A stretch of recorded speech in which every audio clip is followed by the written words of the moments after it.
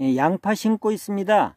예, 양파는 겨울을 나는 작물이죠. 예, 그래서 동해 방지가 굉장히 중요한데요. 어, 심는 시기는 어, 중부지방은 10월 중순에서 10월 말, 남부지방은 11월에 심으면 되겠습니다. 그런데 양파 모종도 어, 집에서 기르기는 어렵잖아요. 시중에서 양파 모종을 사오실 텐데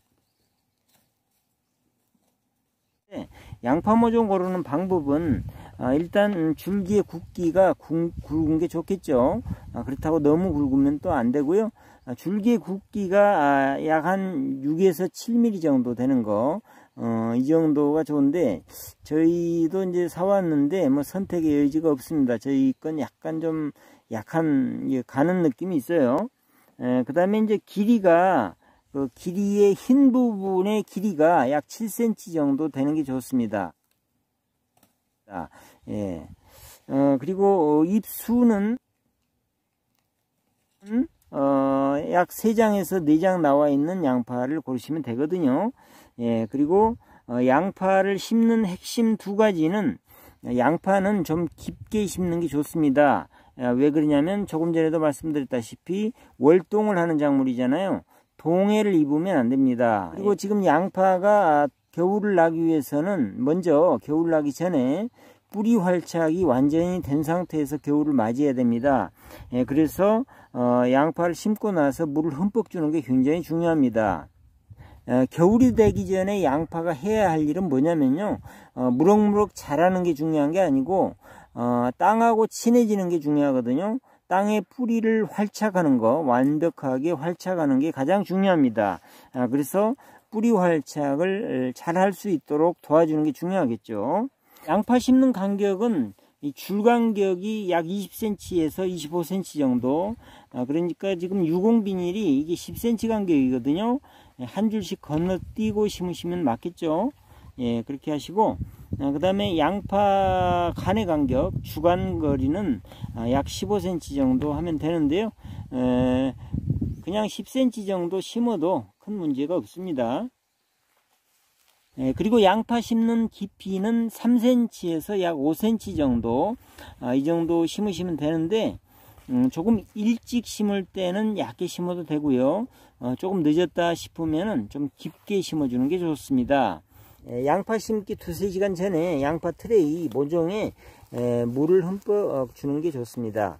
예, 그리고 심는 방법은 지금 보시는 것처럼 먼저 구멍을 뚫고요. 그 다음에 양파 모종을 넣은 다음에 흙하고 밀착이 되도록 이렇게 잘 다독거려서 심어 주시면 되겠습니다. 양파 심는 방법은 양파 심는 방법은 그렇게 어렵지 않죠. 예, 이렇게 구멍을 뚫고 모종 넣은 다음에 에, 흙을 양쪽으로 이렇게 에, 이렇게 집어서 양파를 고정을 시켜주고 그 다음에 흙을 덮어주시면 되겠습니다.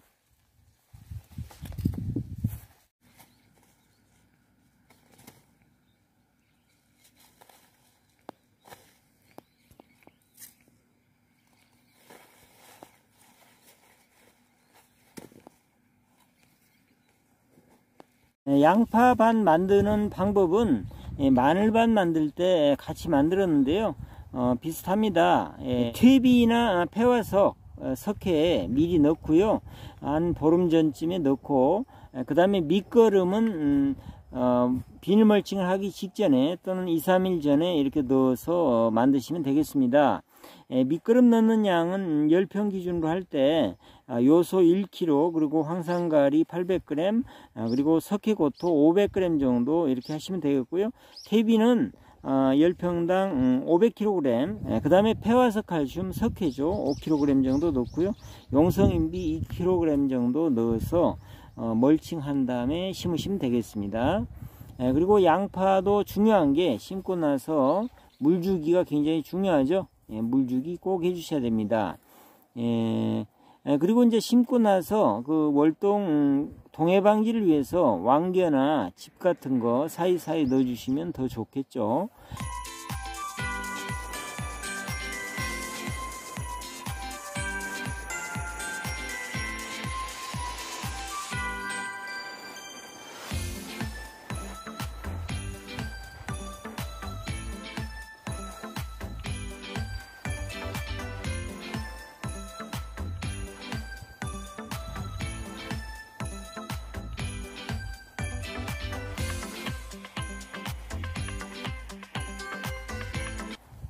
양파도 이렇게 심고 나서 물 주기가 굉장히 중요합니다. 아, 왜 그러냐면 아, 양파가 월동을 해야 되고 아, 이미 이 잎이 나 있고 뿌리가 나 있잖아요. 아, 뿌리 활착이 잘 되게 하기 위해서 물을 흠뻑 주는 건 굉장히 중요합니다. 예, 양파 심고 나서 물을 흠뻑 주세요.